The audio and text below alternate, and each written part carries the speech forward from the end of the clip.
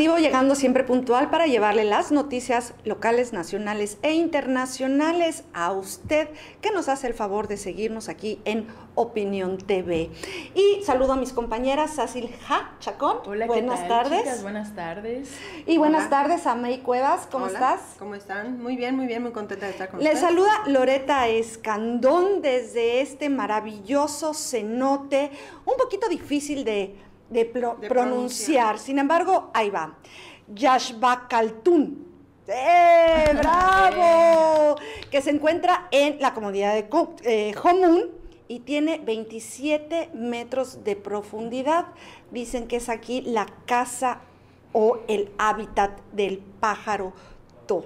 Tan bello. Tan bello él, ¿verdad? Una vez me tocó a mí ver un pajarotó, no sé si tú lo has visto, No, no lo he No visto. lo conoces. Una cola muy larga, ¿no? Azul. y azul, Muy, azul, muy, son, muy son colores muy, muy llamativos y la verdad es que único, único, yo creo que por eso es tan, tan especial de esta región. Y pues bueno, aquí estamos para informarle y empezamos con nuestras notas locales. Con el propósito de estimular la creatividad de todos los yucatecos e inducirlos a la reflexión sobre el impacto de las acciones de gobierno, el titular de la Dirección General de Comunicación Social, Fernando Castro Novelo, invitó al público a participar en el concurso Cabezas Creativas. En rueda de prensa encabezada por el funcionario estatal, el presidente local de la Cámara Nacional de la Industria de Radio y Televisión, Gerardo Vargas de Santiago, y la directora de Trecevisión, Danae Domínguez Nolasco, presentaron la convocatoria de dicho certamen. Vargas de Santiago manifestó que el reto es fomentar la participación de, todos los ciudadanos en la creación de contenidos para medios audiovisuales. Los interesados deberán elaborar una campaña publicitaria, disculpen, conformada por un video de redes sociales, un spot de televisión y otro de radio, y un diseño de prensa para obtener informes que están disponibles en el teléfono celular 9991 25 46 65 y el correo cabezascreativas@gmail.com.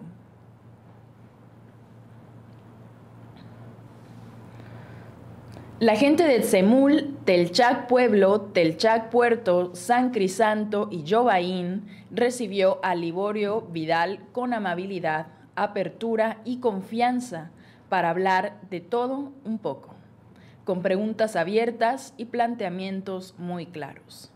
En la gira de trabajo se reconoció la labor del gobernador Rolando Zapata Bello, quien ha sentado las bases para que Yucatán sea referente a nivel nacional como internacional.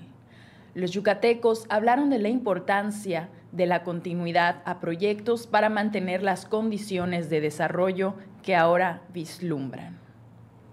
En las reuniones hablaron de la importancia de mantener el liderazgo, la honradez, la experiencia en el servicio público, la cercanía con la gente, la importancia de conocer la forma de generar nuevos empleos y sumarse al desarrollo tecnológico.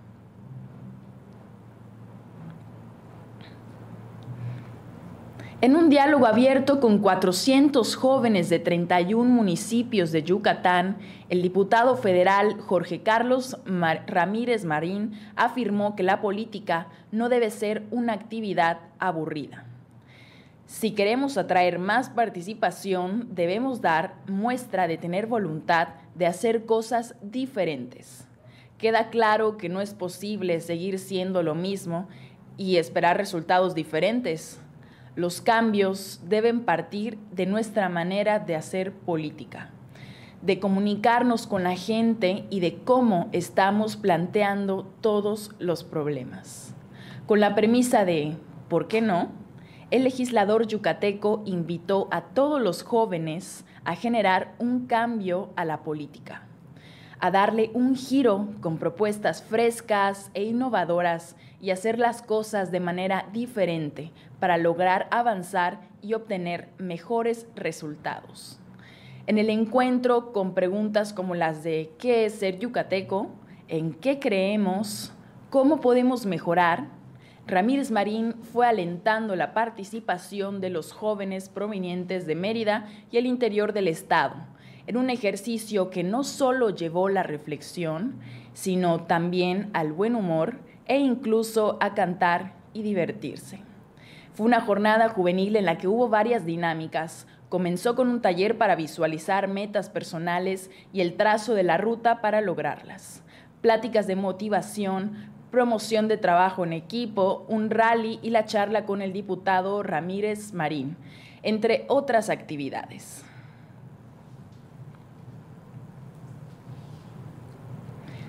En visita realizada al sur del estado, el titular de la Secretaría del Trabajo y Previsión Social de la entidad, Enrique Castillo Ruz, entregó herramientas y equipo para tres iniciativas de ocupación.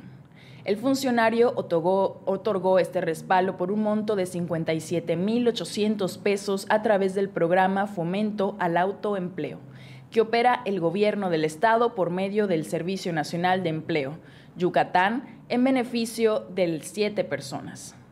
Castillo Ruz apuntó que estas estrategias obedecen a indicaciones del gobernador Rolando Zapata Bello para poder apoyar a toda la población que requiera autoemplearse.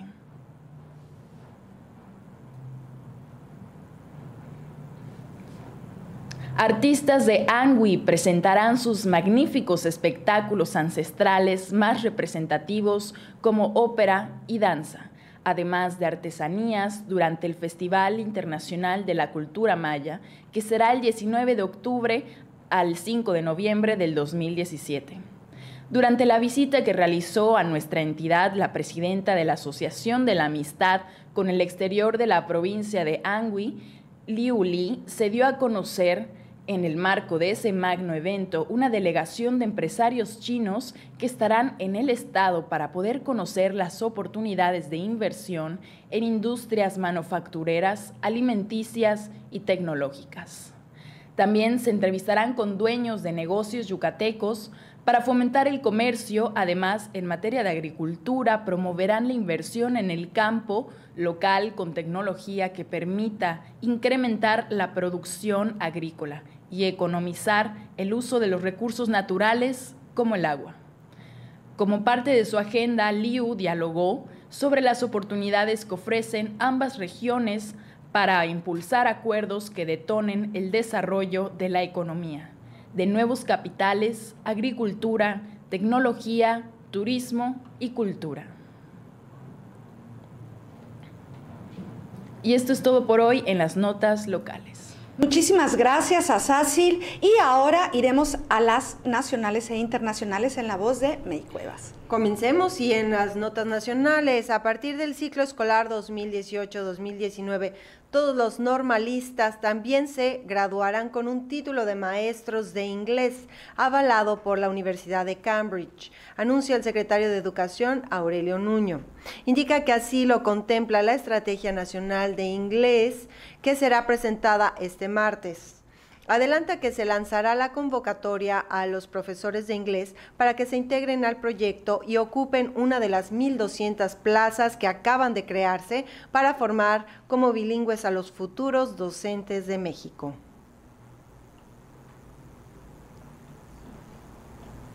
Mediante su cuenta de Twitter, arroba EPN, el presidente Enrique Peña Nieto expresó sus condolencias por el fallecimiento de Diego Zavala Pérez, padre de la ex primera dama Margarita Zavala.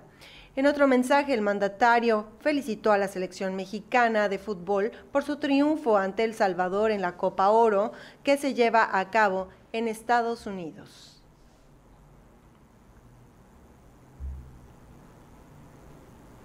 Los expertos independientes de la Comisión Interamericana de Derechos Humanos fueron blanco de espionaje del gobierno federal, asegura el diario The New York Times. Detalla que los especialistas que investigaban la desaparición de los 43 normalistas de Ayotzinapa recibieron mensajes SMS que les pedía darle clic a un enlace que habilitaba el espionaje.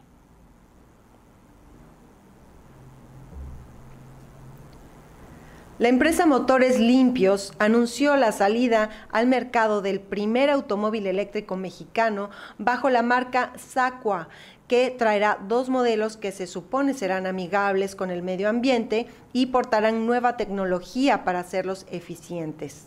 Esta línea de vehículos pensados para la ciudad pretende resolver los problemas de movilidad en zonas urbanas y al mismo tiempo reducir el impacto de los motores de combustión interna que impactan sensiblemente en el problema del calentamiento global que daña los ecosistemas y afecta el medio ambiente.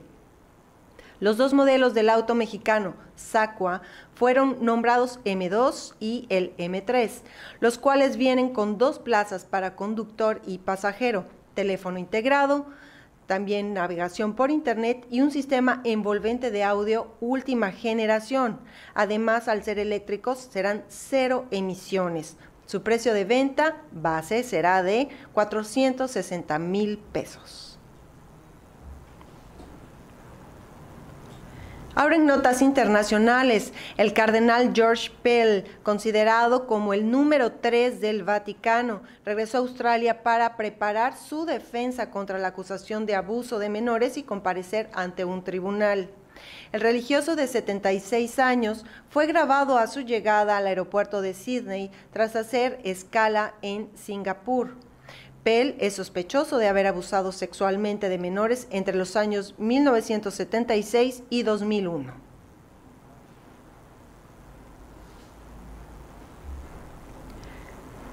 Y el secretario general de las Naciones Unidas, Antonio Guterres, celebró el anuncio realizado por Estados Unidos y Rusia para implementar el cese al fuego en la zona suroeste de Siria. En un comunicado, Guterres refirió que este acuerdo abriría paso para un cese al fuego total y para operar un corredor de entrega de ayuda humanitaria. El secretario general de la ONU instó a todos los países a que preserven el derecho de todos los sirios a solicitar asilo y a ser protegidos como refugiados. Así está el panorama de hoy lunes. Muchísimas gracias a May Cuevas. Bueno, pues ya tenemos la información y ahora me toca a mí eh, leer esta editorial para este programa y se llama El tango de los podridos. Poco habrán olvidado, quizá él, por conveniencia, al Vicente Fox Quesada de los últimos años en la presidencia. Sin más, daba lástima. Dábamos lástima a todos los mexicanos roto el sueño de un nuevo amanecer para México, rodeado de sátrapas, de pocatas, víboras prietas y zánganos.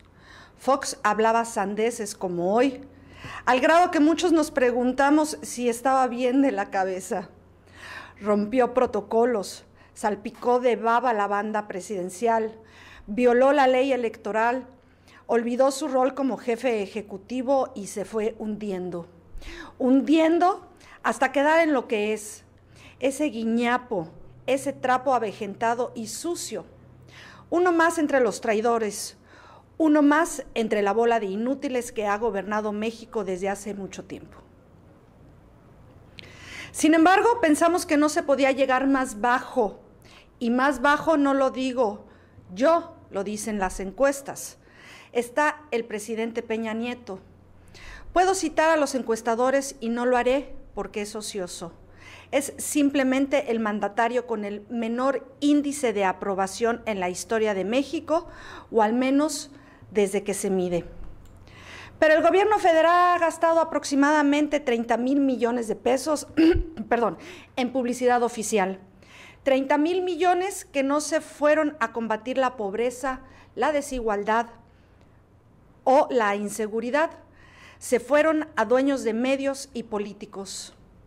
En 2015, el gasto federal en publicidad oficial ascendió a más de 9.619 millones de pesos, 248 veces mayor que el operado por el Programa de Defensa de los Derechos Humanos ese mismo año. En su primer año, en 2013, Peña Nieto gastó 7.611 millones de pesos en promocionarse, Felipe Calderón gastó en su primer año 5.624 millones de pesos en lo mismo y Fox 3.736 millones. El gasto va en ascenso. el derroche es obsceno y yo les garantizo una cosa, ninguno de estos tres individuos, Fox, Calderón y Peña, podría caminar una cuadra sin recibir al menos una mentada. Hay distintas iniciativas desde la sociedad civil para tratar de reglamentar el gasto gubernamental en publicidad, pero sus campañas no prosperan porque el descontrol es total. Claro, se benefician políticos y dueños de medios. Creo que lo que sucede con la publicidad oficial es apenas un reflejo del nivel de pobredumbre al que hemos llegado. Estamos podridos por todas partes como sociedad. Vivimos revolcados en un merengue y en un mismo lodo todos manoseados, como dice el tango que agrega. Si uno vive en la impostura y otro roba en su ambición, da lo mismo que sea cura, culchonero, rey de bastos, caradura o polizón.